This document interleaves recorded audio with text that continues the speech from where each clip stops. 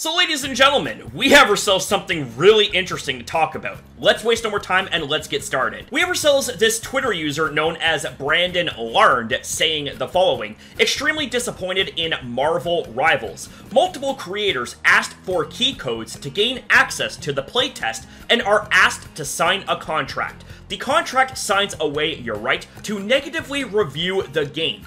Many streamers have signed without reading just to play insanity. And the following image reads as follows 2.1 Non disparagement. The content creator agrees to not make any public statements or engage in discussions that are detrimental to the reputation of the game. This includes, but is not limited to, making disparaging or satirical comments about any game related material, such as game features, characters, or music, engaging in malicious comparisons with competitors or belittling the gameplay or differences of Marvel rivals or providing subjective negative reviews of the game. Okay, I have got one question to ask about this. What in the blue hell is this Mickey Mouse bullshit that we got going on here? So you mean to tell me that Marvel rivals are that sensitive over things mild like criticism that they put it in the contract to basically more or less state that you're not allowed to be critical of the game because they see criticism as negativity.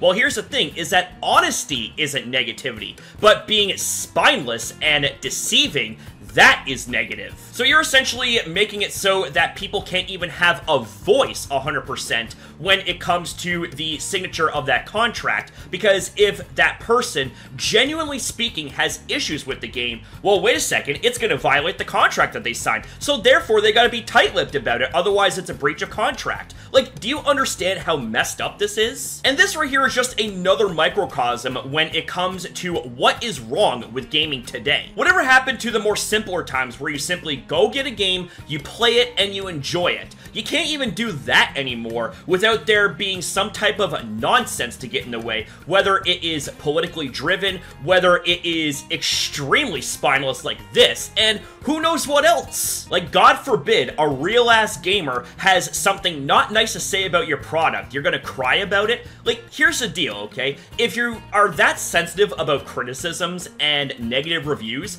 well, here's a little tip. Either get a thick skin or maybe venture onto a different profession because clearly this right here ain't it. Oh, but wait a second, guys. It's not quite over. We have ourselves Hi Stephanie posting the following. Marvel Rivals aims to create a friendly and healthy community for our players and creator. We look forward to hearing your thoughts, and attached to that tweet is an image that reads the following. Apologies in advance, by the way, for the bad phrasing we're about to read. Hi players and creators, we are aware that there are inappropriate and misleading terms in the commitment regarding sharing non-disparaging content. We sincerely apology for the miscommunication and unpleasant experiences. Our stand is absolutely open for both suggestions and criticisms to improve our game, and we, our mission is to make Marvel Rivals better satisfy players by those constructive suggestions. We are now working on revise the miscommunication terms from our commitment. The progress will be shared with every creator in a timely manner.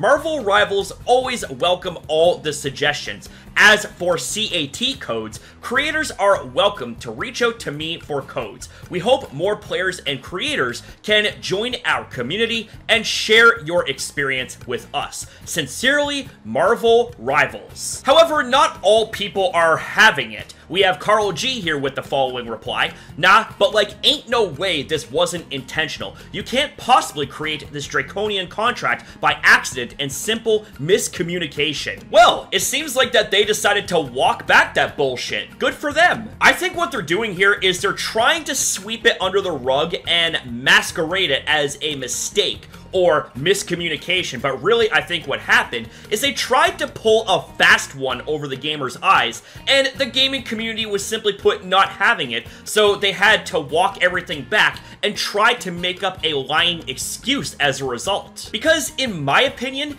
what we have here on the screen seems pretty damn intentional. Like, I'm sorry, but if you want to be taken seriously here, then maybe just maybe don't throw up spineless BS like that in any form of a contract or whatever, because here's the deal, okay? Let me give you some advice. It's free on the Crasher House, okay? First and foremost, criticisms do not equal hate. Let's get that settled right from the get-go. Secondly, when it comes to putting out a product here and you want people to test it, you want people to try it out, don't you think that maybe, just maybe, you should open up your mind to the good and the bad reviews to see where you can improve upon that product, so that way it will be a bigger draw for customers? Like, it seems pretty basic to me. Like, as an example, we'll say my videos. I mean, I wouldn't say my videos are grade A products, but here's the deal. You guys consume my content. If there's at any point that anyone has suggestions on how to improve my content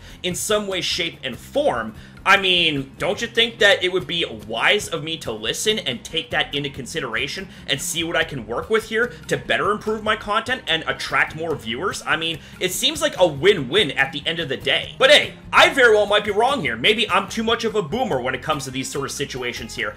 Maybe being logical and reasonable here are so much out of style that it's condemnable nowadays. But regardless of all that, ladies and gentlemen, these right here are just my own analysis and opinions on the matter.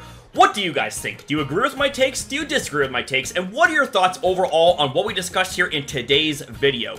Whatever your thoughts and opinions happen to be, ladies and gentlemen, I'd love to hear you guys out in the comments down below. And with that being said, ladies and gentlemen, that is it here for this video. Thank you guys very much for watching. Thank you for your time as well in viewing this video. Have yourself a damn good one, you beautiful people. Be kind to yourself, be kind to others, and I'll be seeing you guys next time.